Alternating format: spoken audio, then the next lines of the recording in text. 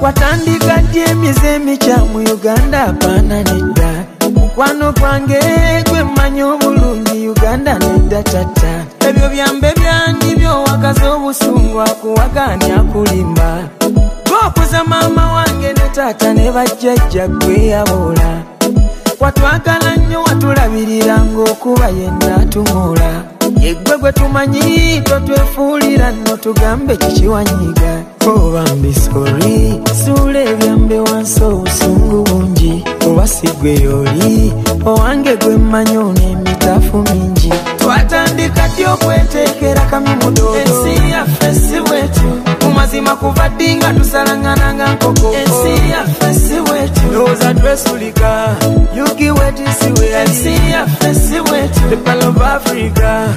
Kati ye jude mpisendi. Ensi ya fesi wetu. Kufatinga tulivate mchisitani atulianga mapapali. Kati tutinga nangambo wa Uganda ya vaunga tuliwandi. Eya tuloga simanyandi.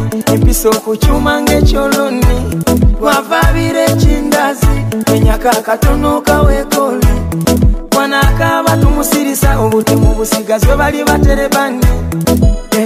yasalamu nobulago nambala neyisigako akazigo twetegera kyamalobo kuno bwetutyo si bwe tweyisa ebyo bintu byeri bunayira tusonyiwagana ngaera bakika netuwambagana tutyo kijambula twatandika ddi okwetekera kamumudo ensi yaffe si bwetyo mumazima kuva ddinga tusalangana nga nkokoozatwesulik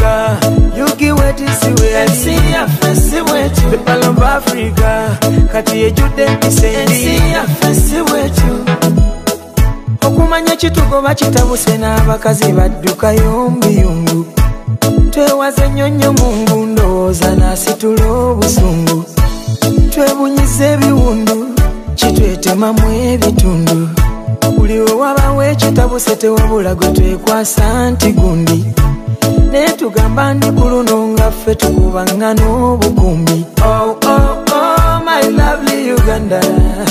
tulumanga kati nkoloto ofayatoca guno moto buli omufuna kutuziweyiweko nazinziro cyuse neisayo mama nkolokoto ofayatoca guno moto buli omufuna kutuziweyiweko nazinziro cyuse neisayo oh, oh, twatandika ddyo okwenteekera kamimudo ensi yaffe si bwetyo mumazima kuva ddinga tusalangana nga nkoko ensi yaffe si bwetyo ndowooza twesulika yukiwetisiweensi yaffe si bwetyo epalomba afrika kati yejjudde empisaensi yaffe si bwetyo twatandika ddyo okwenteekera kamimudoensi yaffe si bwetyo mumazima kuva ddinga tusalangana nga nkoko Esi, was addressed to Lika.